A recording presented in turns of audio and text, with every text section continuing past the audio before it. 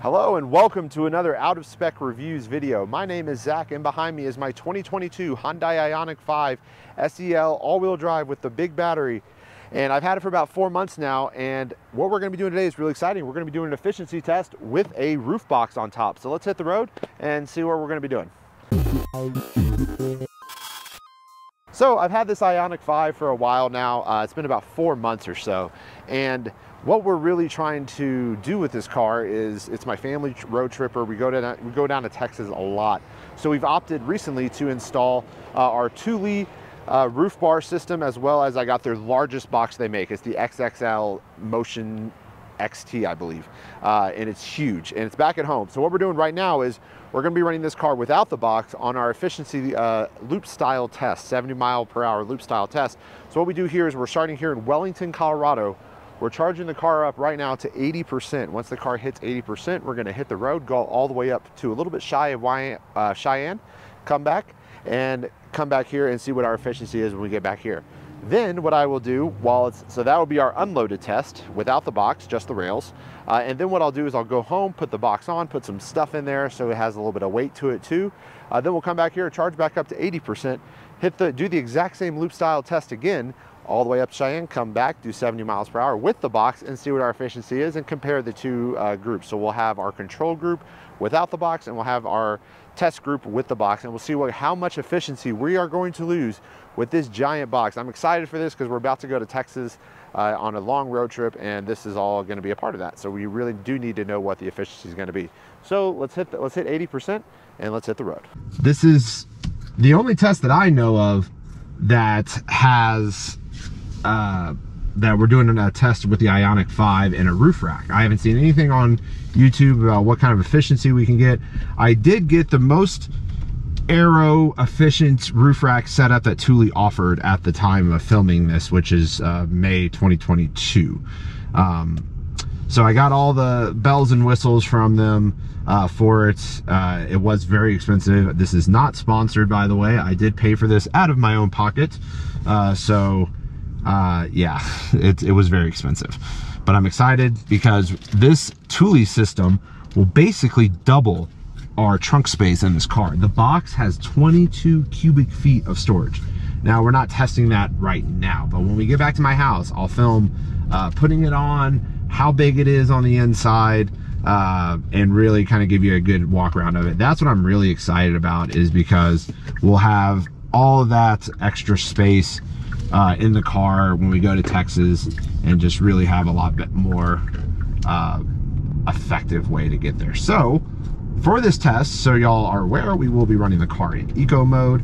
We're gonna turn our fan speed down to one, uh, temperature set at 68. We do have my son in the car, of course, too. Uh, so he's about 35 pounds. Uh, I'm about 255. So we'll you know, so we do have about that much weight in cargo. We don't have anything else in here. I think a stroller is actually in the back. That's not very heavy. So now we're getting up to the highway and we're hitting it. So this, you know, video, we won't really be talking too much about uh, the Ioniq 5's features. You know, I might mention a couple things that I like as a driver, but we're, what we're really focusing in on is our efficiency with this rack system. Uh, right now, I just have uh, just the rack installed put her at 70. There we go. You know, I just had the rack installed, so I haven't run this on the highway at all, actually, uh, with the rack system. So it's good to know what it's gonna get unloaded. I can tell you right now, there is a bit more wind noise, and we do have quite a bit of wind today, uh, too. So we're heading uh, north towards Cheyenne right now. Here we go. The wind is coming west, northwest at 19 miles per hour. The roof noise is a bit more noticeable. Uh, with just the bars installed.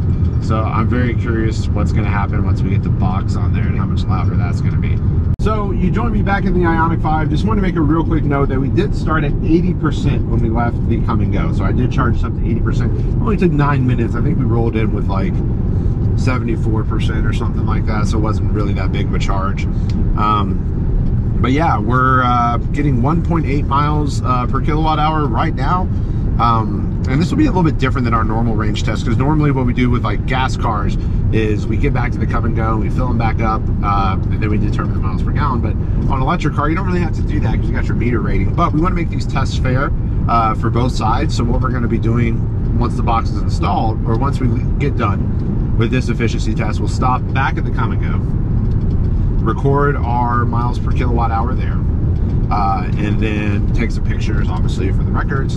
And then um, we'll head back to my house. I'll install the box. We'll film that, kind of show you all what it is.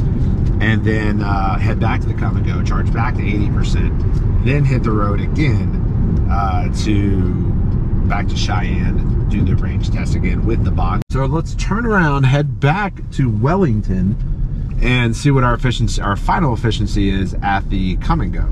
But the reason why we do these loop style tests, just so you are aware, is because I think we were going into a headwind on the way home, on the way here, excuse me, and now we're heading back to Fort Collins. So technically, that headwind should be at our rear now, and we should have better efficiency. Okay, so update from the road. Uh, a lot more people uh, driving. You guys see, you know, it is Memorial Day, so a lot of people are coming home. Uh, there's up to 40 mile per hour gust according to the highway signs out here. So you can see this trailer that we're passing right now. Uh, see if he's running away distribution hitch. He is, but he seems squatting pretty good. He's kind of walking all over the road. So is this guy. Hello. You can hear that wind outside. I think this was a great day to do this test because of this wind and you know this is you know you do encounter this on road trips sometimes. So you you know you got to be prepared for it and you got to you know account for it. So that's where apps like a better route planner come in very handy. Um, they even have you know parts on a better route planner now that'll let you hook up an OBD2 tuner OBD2 dongle to it and get uh, and get linked into the car. So let's get it back in 70 here we're trying to hold uh, 70 and kind of go around people. We're not trying to clog up the left lane either. But yeah, I am not sure we're gonna get better efficiency on the way back. We might, it might even be worse. All right, so we're back here in Wellington, Colorado. Let's pull into the Kum & Go and get an official uh, tally. And then what we'll do from there is head back to my house uh, and uh, put the big box on. Overall, I think the car did great, uh, and even in this windy conditions. And now it's official. So we're here back at the charger. We're not going to charge up here. I'm just going to go back home um, and put the box on. So let's get the official. Here we go. I'm very crooked. Yes, I know. So 2.6 miles per kilowatt hour, 52% state of charge. We started with 80% state of charge. So and we went 50 let's get the exact so it's like 59 i started it just a little late. It's 59 i've done this test a million times.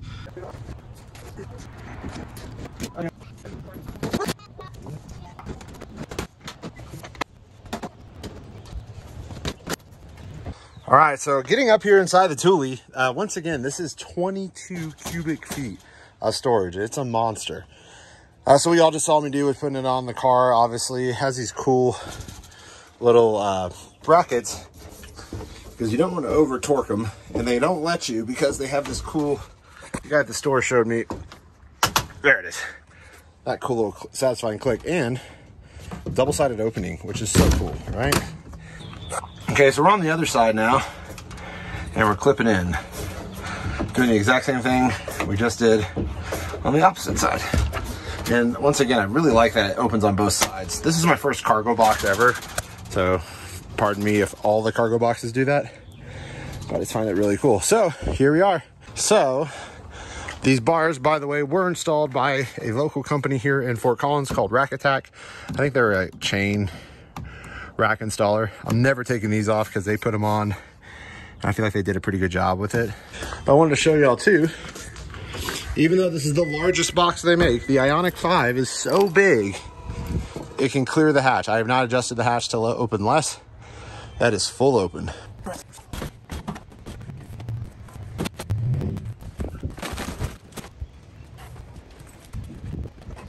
So check it out. We got a big two 30 pound bags of charcoal, bottle of Rain-X, a medium-sized suitcase, a very large suitcase. This suitcase is very, very big, by the way. And as you can see, plenty of room for everything. I could probably definitely put more stuff in here, but this is great. All right, so you join me back here at the Kum & Go. Uh, we are charging the car back up to 80% to do run number two, this time with our Thule uh, XXL uh, cargo box on the top. So what we're gonna do, like I said, is we're gonna charge the car up to 80%, uh, just where we started without the box. I wish these were Electrify Americas and we'd be cranking right now, but we're not. We're at like 56.2 on these uh, ChargePoint units. I think they're only rated for 62. So whatever. Let's get something to eat and make sure this thing's good to go. All right, so here we go. We're about to head out from Wellington, Colorado, and we are on our way to Cheyenne. Let's make sure everything is reset on the trip odometer. Tires are at manufacturer spec. We're good there. To recap, we are running the largest roof box that Thule makes on the Ioniq 5 right now. And I didn't want to go trailer hitch yet. I do eventually do want to get the trailer hitch in case you're wondering because I I like specking stuff out. I like maxing stuff out. So that'll be really cool too. Uh, once I get the trailer hitch, we put the roof box on, load it up, load this up with people, and then maybe tow our overlanding trailer, which is like 1,500 pounds or so. Maybe it's actually like 700 dry. But anyway, uh, all that in another video. We'll do range test plus towing and with everything and just see how terrible the range is going to be. It is loud. I'll tell you that right now. First impressions right off the bat, very loud. Uh, but I expected that.